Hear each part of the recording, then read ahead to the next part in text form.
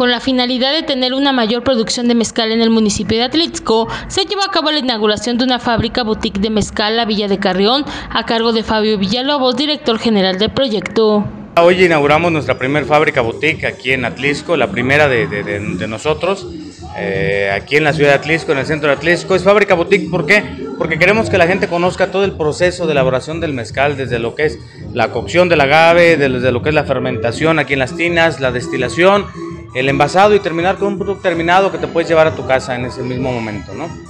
Digo, no, no es el que se va a cocer todo eso, previo ya lo tendremos envasado, pero vas a conocer todo el proceso. Mencionó que esta fábrica tiene la finalidad de que Atlixco se dé a conocer con la producción de mezcal. Asimismo dijo que el mezcal se ha exportado a cinco países. Pues Atlixco al ser un tema turístico y yo soy como delegado estatal del Consejo Mexicano Regulador de la Calidad del Mezcal, la verdad una de mis prioridades es incentivar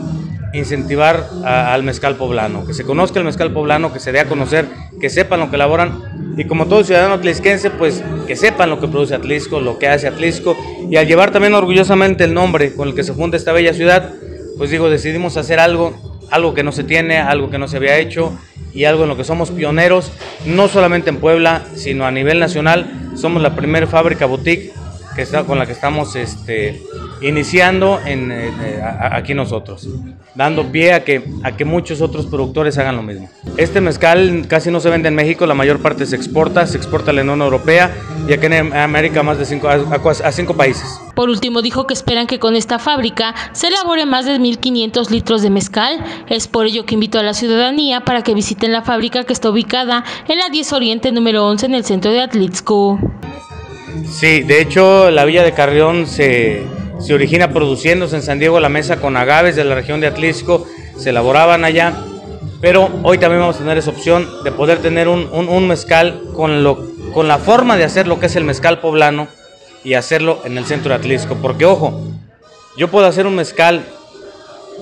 si soy michoacano, puedo hacer un mezcal michoacano en Atlisco, pero no por eso va a ser un mezcal poblano. O si soy de Oaxaca, hago un mezcal con la receta de Oaxaca en Atlisco, y no por eso puede ser un mezcal poblano o un mezcal atlisquense. Entonces, tenemos que tener la receta, la forma de cómo hacer un mezcal, un mezcal 100% poblano. Pues invitarlos que pasen a visitarnos aquí a la calle 10 Oriente número 11, en el centro de Atlisco, donde antiguamente, hace muchos años, fue eh, la,